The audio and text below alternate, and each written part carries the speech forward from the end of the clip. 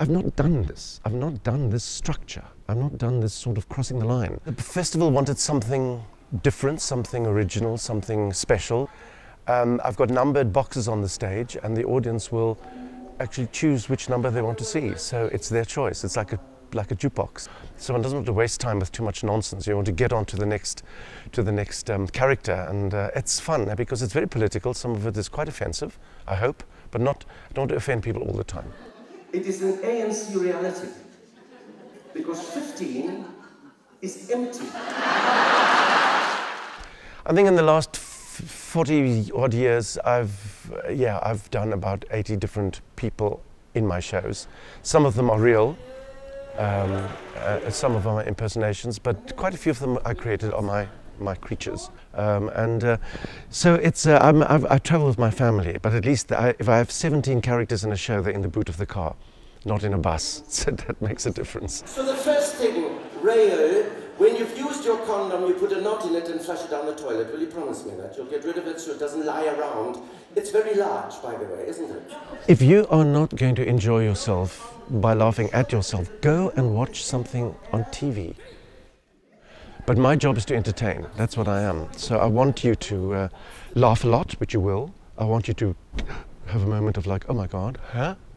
Um, that's all part of it. And I'm doing more reacting than acting. I mean, I listen, I sort of get a sense of what are they, are they with me on this issue? If not, then I must minimize the issue, move on to an issue that people will identify with.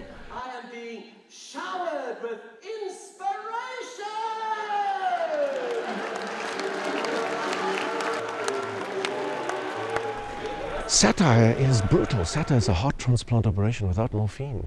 Satire is cutting your leg off and forcing you to eat it with a smile.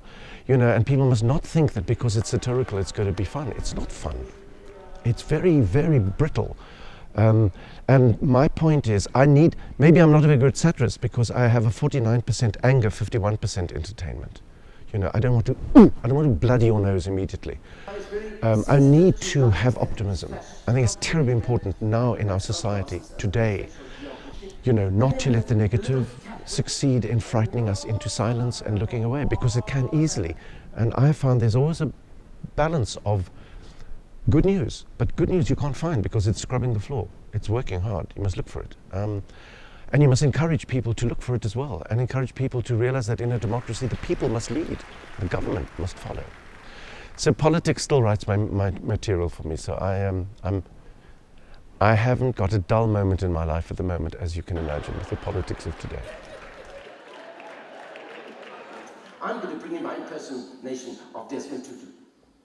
But as long as we have our freedom of expression, we're okay. When we lose it, we are in big trouble, and we're quite close to having it compromised. So my point is to everybody, don't take anything for granted. Fight for your freedom today that you might enjoy tomorrow. Just